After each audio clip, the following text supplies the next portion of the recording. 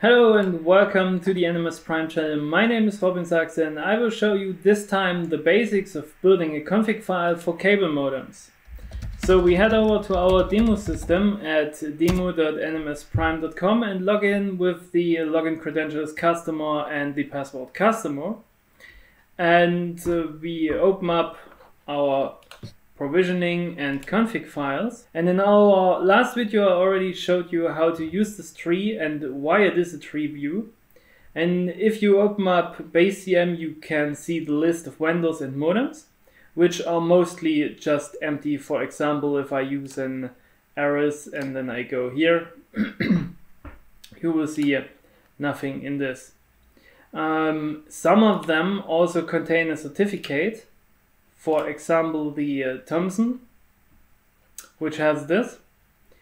And uh, these are actually the contents of the firmware file located here. Uh, this is because as we started building the system, we put the certificate data for installing the firmware into this text area. But nowadays we prefer to upload a certificate file because this stuff hasn't much to do with the actual configuration. So we go back to here. Uh, what is interesting for us is the content of the base CM or CM base, which represents the basic configuration used for all vendors and modems you can see in this whole tree view.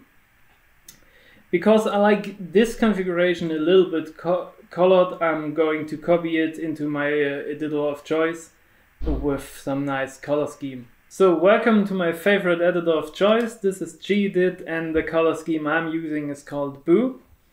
And here you can see our CM base config file. And I will cover the first part and uh, later the second part, which is not that important for this video. I'm going specifically because it was requested for these points. So first we start with the US uh, service flow, which means upstream service flow, and define US service flow reference. This is um, the reference number, which is later used for package classifiers. Um, we don't use package classifiers, and they are not needed for now, but I can still show you one if you like. This is what an uh, upstream package class would look like. So here we have the service flow reference number so that the system knows we are going for this uh, flow reference here.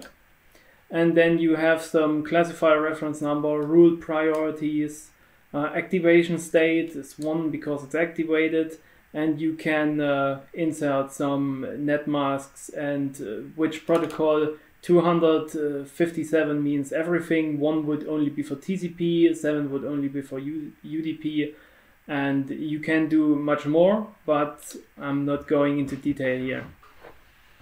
The next thing we have is the uh, QoS param set type, which means quality of service, and uh, 7 means active. Um, everything else instead of 7 would mean it's disabled, 7 means it's active. A max rate sustained that comes straight out of our database uh, is the maximum transfer speed in uh, bits per second. And um, the next part is max traffic burst.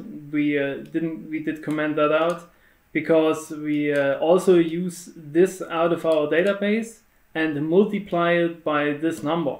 Uh, this is how much data can be sent in one burst and uh, for the burst, we use this calculation, the current max upstream rate helper uh, multiplied by 0.1875. Um, this is, imagine starting a download, and at the start of the download, you will have a bit more download rate than you actually get. If you ever start a download, you should have seen this before. And this is the um, calculation for that. Next, we have a DS service flow, which means downstream service flow. And here we have basically uh, the same um, parameters. Um, like in the upstream service flow, uh, DS service flow is the reference number. And the QoS param set type is 7 for active, of course. And the max rate sustained comes out of our database. Then we have the modem capabilities. These are optional. So the first part I showed was mandatory, but the uh, modem cap capabilities, for example, concatenation support enabled for concatenation of packages, and the IGMP support gets also activated.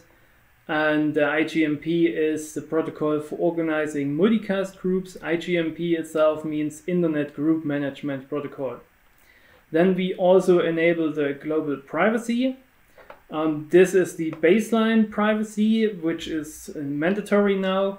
And that's basically how data is encrypted between cable modems and clients and other stuff. So then next we set the baseline privacy itself. There we have an odd time authentication timeout which is the amount of time a cable modem waits for a response from a CMTS when negotiating for a KEK for the first time. We also have a re-auth timeout. This is um, the wait amount for a response for renewing a KEK. We also have an authentication grace time, which is the grace period for reauthorization in seconds. So that is 600 seconds, about 10 minutes. Then we have an upper timeout, which is the amount of time a cable modem will wait for negotiating for a TEK for the first time. We also have a rec, rec key timeout, which is the wait amount for a response for renewing a TEK, like the re-auth timeout was for a KEK. Then we have the TEK grace time, which is the wait amount for a response for renewing a TEK. We have the TEK grace time. This is the grace period for reauthorization in seconds. Here it's 1800 seconds. That's, that's pretty much. Then we have an auto reject timeout. This is when the negotiation failed. Um, the time a cable modem has to wait until it can retry this one and we have an SA map wait timeout. This is the uh, retransmission interval in seconds for an SA map. And an SA map re max retries, how often the SA map can be re requested again. And SA map is the requests, or SA map requests are sent from the uh, cable modem to a CMTS for requesting the mapping of a particular downstream traffic flows to a BPA plus SA. And SA means a security association, and it's a set of security information which uh, CMTS and cable modems share to support secure communications over the cable network. And for the next part of our video, we scroll a little bit down to the SNMP MIB object. I'm happy that I can even pronounce this one correctly. And here you can see the name for the SNMP MIB object comes right out of our database. And SNMP MIB object is basically an information collection. MIB means Management Information Base and SNMP means Simple Network Management Protocol. I'm now going quickly over the next few lines of our configuration. Uh, we chose this style that we have all the four lines with the same command next to each other and then the next ones and the next ones and the next ones.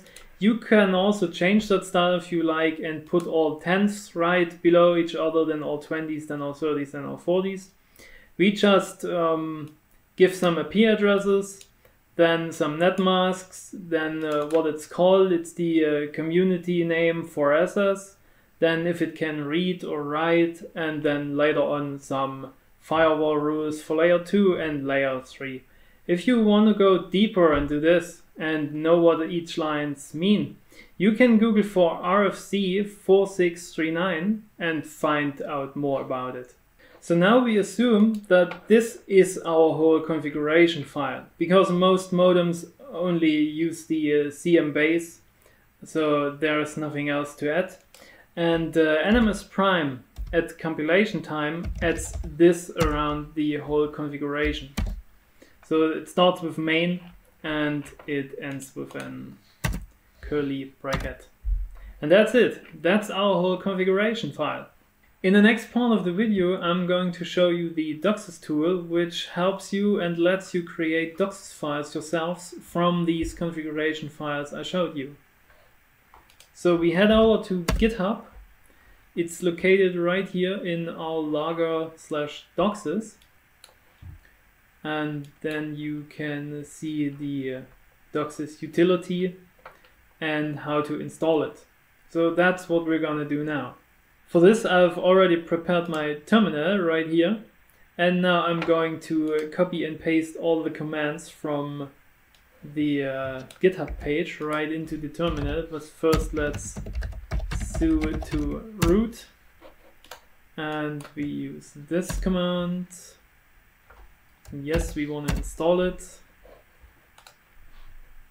Okay, so now it's installed and we use the uh, git clone command. Um, better switching to a folder now. We call it mkdir test and I switch into test and then um, making a git clone and then use cd docsis and the autogen file and then we configure it and then we type in make and then make install, which is basically optional, but I'm going to do it. And then it's done, it's installed. Now in the last part of the video, I'm going to show how to use the DOCSIS utility for creating a DOCSIS file for an ARRIS modem because this was requested. We don't need to copy the CM base and then the Arris and then everything else. We can straight up head over to modems and then we use some of the existing Arris modems, for example this one,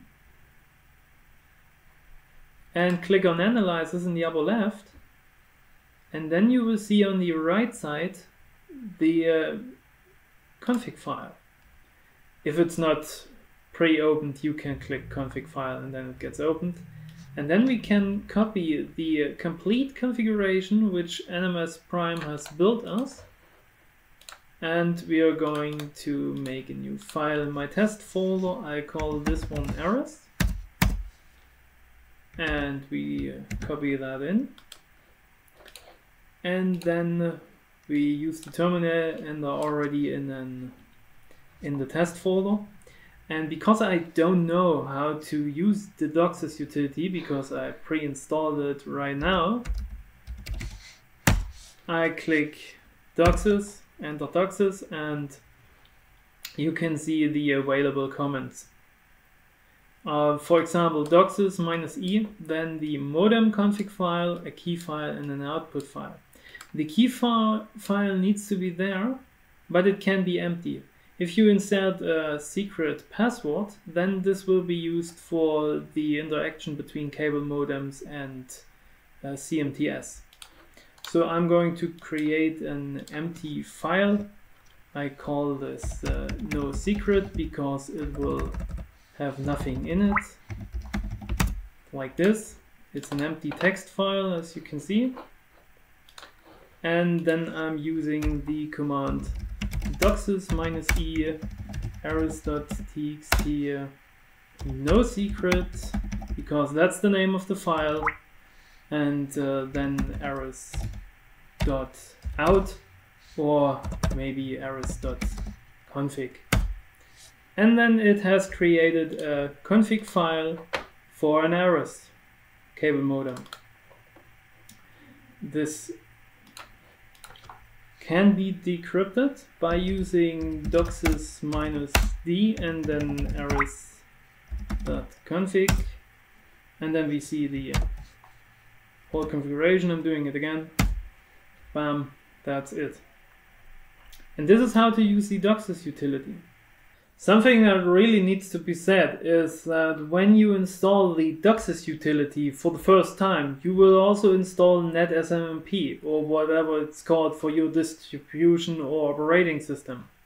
Because of that, you will have some MIB files located in user share SNMP MIBs, but these won't be enough to compile the configuration files for all modems out there.